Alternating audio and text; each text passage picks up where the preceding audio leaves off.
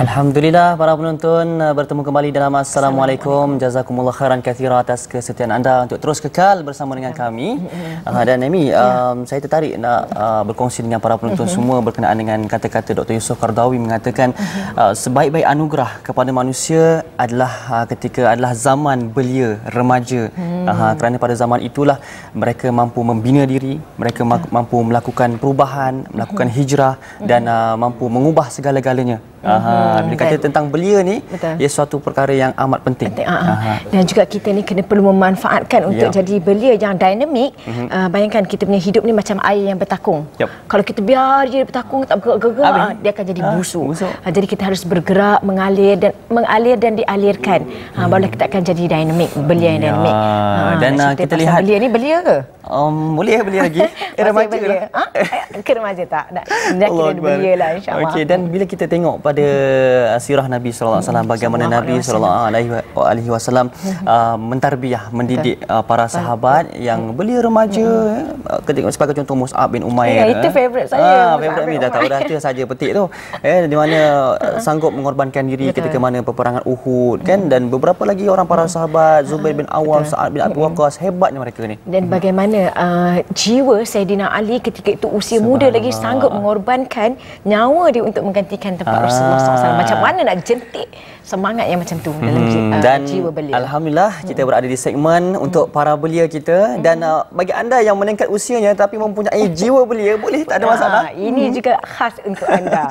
dan kita nak uh, berbicara berkenaan dengan convention belia relawan haluan hmm. atau nama singkatannya Kobar. Ha, hmm. yang akan dianjurkan oleh haluan sendiri hmm. dan kita nak uh, mengetahui dengan lebih lanjut bersama dengan Encik Hasri Ahmad pengarah convention belia relawan haluan Kobar. Assalamualaikum Encik Hasri. Waalaikumsalam warahmatullahi wabarakatuh. Khabar ni sihat? Alhamdulillah. Selamat datang. Terima kasih. Terima kasih. Okey, baiklah. Um, kenaan dengan convention belia uh, relawan haluan ataupun kita katakan sebagai kobar lah. Ya, yeah, insyaAllah. Uh, bagaimana, apa yang cuba ingin dibawa dan uh, boleh Cik Asri terangkan kepada kita dengan lebih lanjut uh, latar belakang program ini. Silakan. Okay. Okay. Bismillahirrahmanirrahim. Assalamualaikum warahmatullahi taala wabarakatuh. Waalaikumsalam. Alhamdulillah rabbil alamin wassalatu wassalamu ala asyrafil anbiya'i wal mursalin wa ala alihi wa sahbihi ajmain. Rabbi shrah li sadri wa yassir li amri wa hlul 'uqdatam min lisani yafqahu qawli. Uh, pertama sekali saya mengucapkan terima kasih kepada TV Al Hijrah uh, kerana memberi peluang lah kepada yeah. haluan uh, dan saya mewakilinya untuk kita menerangkan atau membuat hebahan tentang satu program yang dianjurkan oleh Haluan Malaysia iaitu yeah. Convention Belia Haluan Malaysia uh, Convention Belia Relawan Haluan mm-hmm. ataupun nama singkatannya Kobar. Kobar. Jadi kenapa kita kita cerita tentang belia ni macam mana yang apa ni Ustaz Syarul cakap tadi uh, kita lihat realiti uh, belia pada hari ini kita tengok mereka berada dalam satu dunia yang penuh dengan cabaran. Yeah. Kan? Uh, mereka ni uh, kadang-kadang terdedah dengan anasir-anasir yang tak sihat yeah. dengan uh, cengkaman kehidupan yang yang begitu mencengkam. Yeah. kan? Dan kadang-kadang uh, mereka ni hilang arah tujuan kehidupan. Uh, pada masa yang sama kita juga tengok ramai belia-belia kita ni yang yang mempunyai kesedaran Islam dan ingin berubah. Kan? Tetapi mereka tak tahu macam mana untuk apa ni mengubah diri mereka dan juga untuk uh, menyumbang kepada uh, apa ni uh, mendidik dan berbakti kepada masyarakat. Hmm. Jadi itulah sebenarnya uh, konsep ataupun idea uh, uh, Kobar ini dianjurkan. Ah, okay. Dan difahamkan eh Kobar tahun ini adalah merupakan tahun yang kedua. Tahun yeah. lepas pun dah ada Kobar yeah. dan sambutan yang cukup menggalakkan uh, yeah, pada Kobar tahun lepas. Hmm. Jadi pada tahun ini kita mengharapkan lebih lebih yeah, sambutan itu menggalakkan insya-Allah. Hmm. Jadi apa objektif Kobar tahun ni?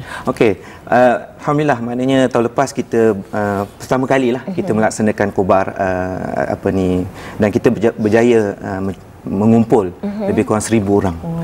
Jadi tahun ini alhamdulillah uh, uh, kita mempunyai uh, target untuk mengumpul uh-huh. uh, 2000 uh-huh. uh, belia-belia uh, daripada seluruh uh, uh, Malaysia. Uh-huh. Jadi kalau kita uh, berbalik pada apa yang saya saya uh, saya cakap tadi, hmm. objektif yang pertama sekali uh, apa ni convention ataupun kobar ini, yang pertama sekali ialah kita ingin memberi kesedaran hmm. kepada belia-belia ini tentang apa ni uh, kesedaran Islam kepada pada belia ini. Yeah. Kerana kita tahu bahawa Islam sajalah yang mananya yang memberi penyelesaian ataupun jawapan yeah. kepada permasalahan uh, belia ataupun uh. permasalahan apa saja permasalahan kita hmm. uh, di, uh, pada masa kini. Itu yang pertama.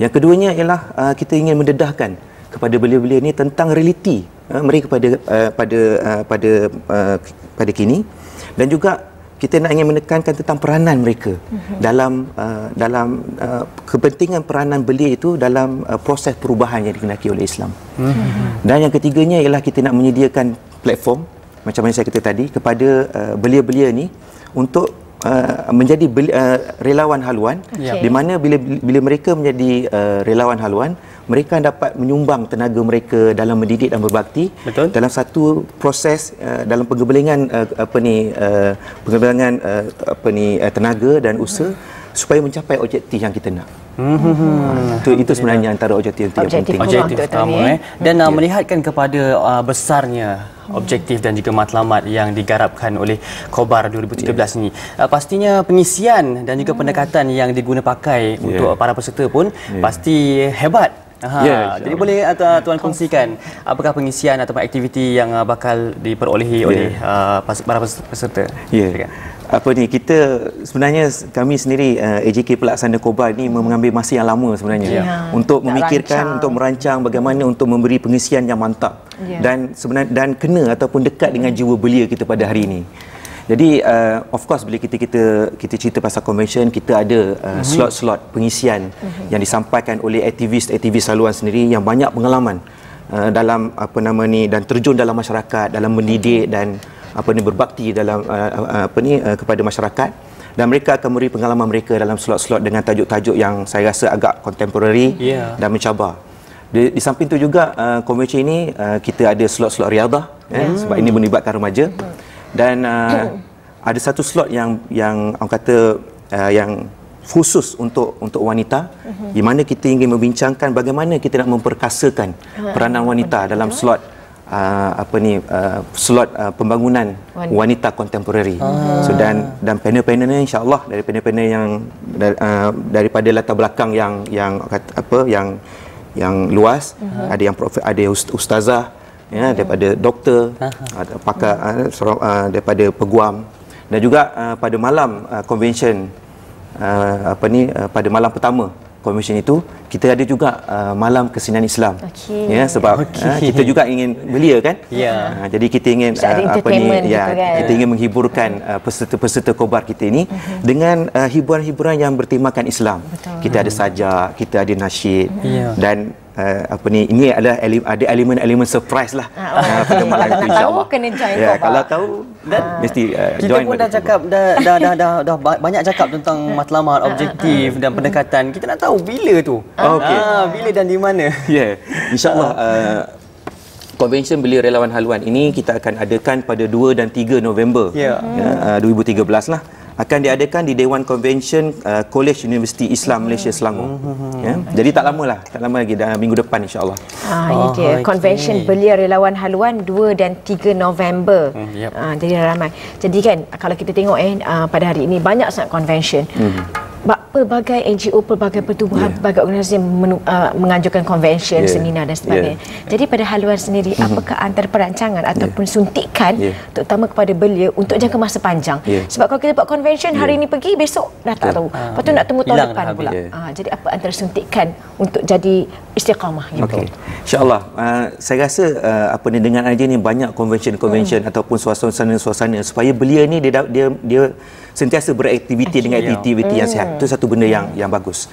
Uh, bezanya antara uh, convention belia uh, convention kobar ini okay. uh, dia akan berkobar-kobar uh, kan dia akan satu dia akan berkobar-kobar samalah eh? keduanya ialah uh. kita kita nampak uh, convention ini bukan bukan satu aktiviti sahaja okay. dia tak berhenti di situ itu sebab sebab uh, spesifik nama convention inilah convention belia relawan haluan okay. di mana belia-belia apabila datang pada convention ini uh-huh. dan dia dia berpeluang untuk menjadi apa ni uh, untuk menjadi ahli uh-huh. relawan haluan yeah. dan sebenarnya haluan sendiri memang banyak program-program yang melibat uh, yang yang mendidik dan sebagaimana yang saya kata tadi program-program yang mendidik dan berbakti pada masyarakat. Okay. Jadi apabila menjadi belia relawan haluan, mereka akan mempunyai peluang banyak peluang untuk menyumbang. Yeah. Dan dan dan kita juga banyak program-program yang penerusan selepas ini insya-Allah uh-huh. yang kita atur uh, kepada peserta-peserta uh, belia uh, kobar pada tahun ini. InsyaAllah hmm. memang ada penerusan. Dia tak berhenti di situ. Okey, so uh. itu ada antara uh, jangka panjang lah. Jangka panjang. Nak tunggu kobar lagi satu yes. tahun ataupun apa program-program besar, yeah. maka kita ada yeah. program susulan. Yeah. Kita berkobar uh. sekarang ini dan kita terus berkobar-kobar sampai kobar sampai yang kobar akan datang. Akan datang. Okay. Okay.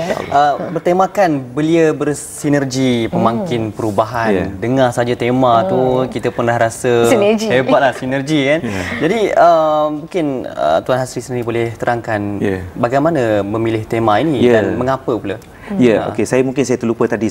Antara salah satu objektif kita yeah. Kobar kita pada pada tahun ini ialah kita pada tahun lepas objektif utama Kobar kita ialah kita nak kita, kita nak bagi tahu pada belia kita ini ialah kita sebenarnya menjadi ejen pada perubahan. Mm. Kan? Maknanya uh, pemuda apa ni belia ini dia mempunyai dia mempunyai uh, peranan yang penting dalam menentukan kejayaan uh, negara ataupun satu gagasan yang yang di, mm. yang dibawa.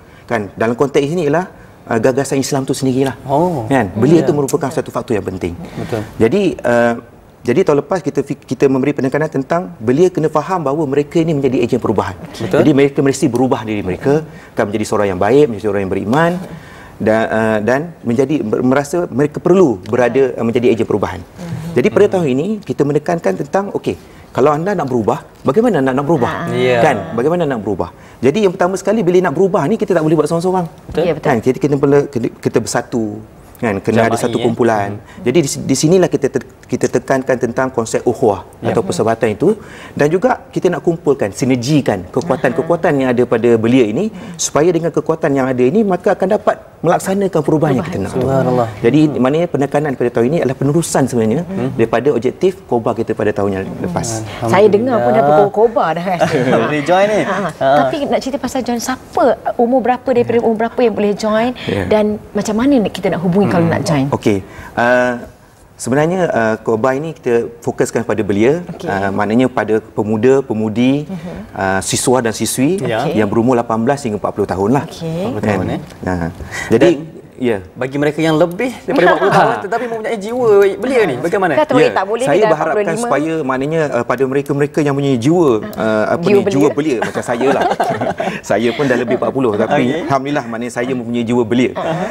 Uh, apa ni boleh. boleh, boleh join, join. boleh okay. join kan? Sebab kita takut juga nanti kan datang yang yang berumur nanti takut dia tak klik kan? Ah, tak klik kan okay. jadi kalau dia mempunyai jiwa ah, belia silakan. Ah, tapi fokus kita ialah pada pada uh, pemuda-pemudi dan siswa dan siswi yeah. daripada universiti-universiti untuk datang pada uh, pada kobar uh, kali ini. Hmm. jadi uh, Ya, maknanya saya saya menyerulah mm. ya, kepada semua uh, pemuda-pemudi mm. dan uh, apa ni siswa dan siswi yang berada di luar sana supaya uh, datang kepada convention Kobar uh, pada tahun ini mm-hmm. dan boleh berdaftar uh, di di laman web ya mm-hmm. kobar.haluan.org.my mm-hmm. ya. mm-hmm. dan juga boleh dapat maklumat lanjut daripada Facebook uh, kami mm-hmm. www.facebook.com slash kobar haluan mm-hmm. dan juga boleh hubungi uh, apa ni uh, nombor telefon 03 8926 8892 atau 017 589 ya. 1789 maknanya uh, untuk untuk mendapat maklumat lanjut hmm, tentang program Kobar ini insyaallah. Seterusnya. Hmm, alhamdulillah. Jadi dan uh, juga saya nak apa ni menjemputlah. Ah, insyaallah alhamdulillah secara ah, live ya menjemput Kobar insyaallah mungkin insya boleh menjadi VIP kami. Insyaallah. Terima kasih ucapkan pada Encik Asri Ahmad ya, pengarah konvensyen uh, belia relawan haluan Kobar. Moga-moga kami doakan uh, berjalan dengan lancar, sukses dan dipermudahkan Allah Subhanahu wa taala tahniah atas hmm. pengajuan konvensyen belia relawan haluan dan juga semangat untuk kita menaikkan menaik tarafkan belia-belia ya. negara kita insyaallah. sekali lagi mengucap terima kasih. Barakallah fikum. Dan, dan para penonton? mm-mm. ingat 2 dan 3 November 2013 bertempat di Dewan Convo Conven Convocation, Convocation. Eh? Uh, Kolej Universiti Islam Antarabangsa Selangor okey dan anda boleh daftar uh, di uh, maklumat seperti yang tertera di kaca TV anda Betul. sekarang jadi dan jangan lepaskan peluang ayuh kita semangat uh, semarakkan semangat Betul. belia kita mm-hmm. ayuh kita kobar-kobarkan semangat kita dan lepas ya. kita dapat kita sebarkan pula kepada orang lain insya-Allah. Hmm, kobar dan juga sebar. Ya betul okay. kobar dan sebar. Okay. Baik alhamdulillah ha. para penonton itu dia serba sedikit uh, berkenaan dengan convention yang akan dianjurkan dan hmm. uh, moga-moga kita mendapat sedikit input daripada convention ini insya-Allah perbincangan ini dan, dan nampaknya uh, kita perlu berehat seketika. Seketika sekali lagi. Dan selepas ini kita akan ada lagi banyak lagi diskusi terutamanya berkenaan dengan remaja belia ya. juga kita ada playback yang disediakan dan juga kita akan ada perbincangan tentang bajet, bajet 2014. 2014. Jangan, Jangan ke mana-mana teruskan bersama kami. Assalamualaikum. Berehat seketika.